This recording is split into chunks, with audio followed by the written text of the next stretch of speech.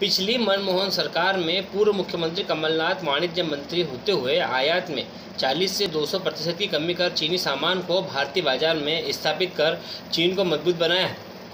कांग्रेस ने चीन को फ़ायदा पहुंचाकर खुद का फ़ायदा भी किया है, जिसमें आज चीन हमें आँखें दिखा रहा है। इसको लेकर के आज खरगोन ज़िले के सेगावा मेन रोड पर भाजपा कार्यकर्ताओं द्वारा कमलनाथ का पुतला फूका गया। सेगावा से संजय जायसवाल की रिपोर्ट। मंडल की तरफ़ से क्या कार्यक्रम था? आज? कमलनाथ के पुतले का दहन था।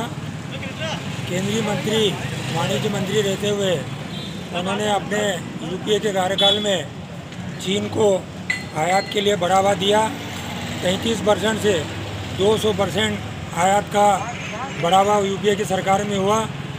इस कारण से आज चीन भारत को आँखें दिखा रहा है।